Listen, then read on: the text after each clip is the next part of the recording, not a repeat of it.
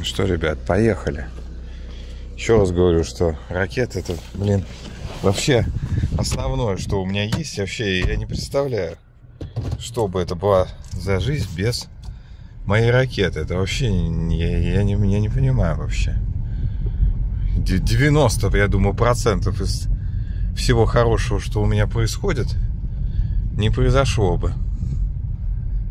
Да, понятно, что когда, как говорится, за неимением чего-то у тебя происходит замещение, все равно ты живешь, все равно на круг все то же самое. Но да, вот, кстати говоря, да, приветствую, приветствую, моя арка Стивена Кинга. Да. Кстати говоря, я же до 11 года, я в 11 году получил права. Ну, в мае, в начале мая, это должно было быть на моих старых правах, я уже где-то они сфотографированы, не помню. Ну, какого-то числа, числа 10 мая, наверное, их получил 11 года права. А, до этого я, значит, постановил, что я никогда водить машину не буду, что я буду таким интеллигентом, буду про перемещаться на автобусе и так далее. Да, вот так вот я постановил. Но потом, представь себе, я все-таки на них сдал.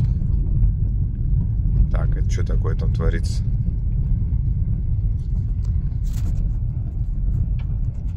А, народные. А что, они собачку тут оставили? Интересно. Майла, ищи ключи. Ну и, короче, ну а потом, да, потом я сдал, и, в общем, ребят, это совершенно другое дело вообще. Не то, что другое дело. Ну, детали этого я пока раскрывать не могу. Я понимаешь, у меня везде и всюду политика, как бы кого не задеть, не обидеть. Особенно а, из женской половины человечества. Поэтому еще раз говорю, что я боюсь как огня женскую половину человечества.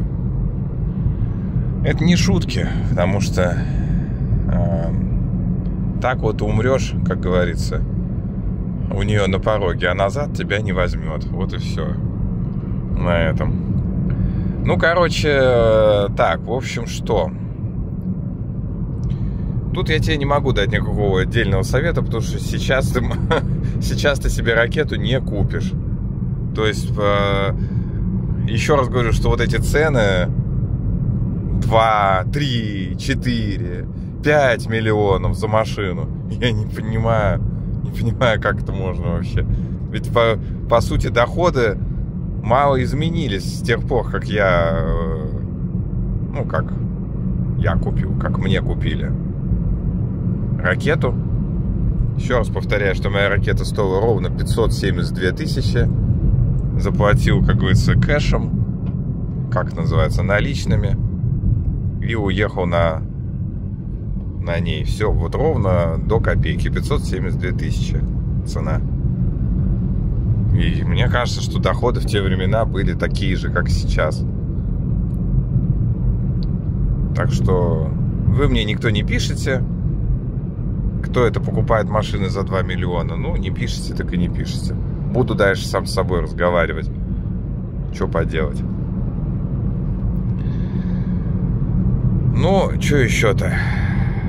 Да, сейчас буду проезжать через Чехов. Сантехника, кровля.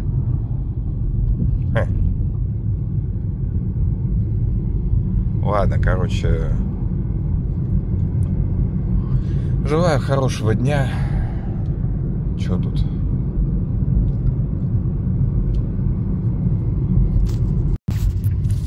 Ну вот вам еще покажу въезд в Чехов. Но это же все по расположению принадлежит к Московской области. Соответственно, это, знаешь ли, совершенно другой регион относительно всей остальной северной страны. Но я тебе скажу, что вот в моей Мариэл, допустим, во многих местах очень неплохие дороги.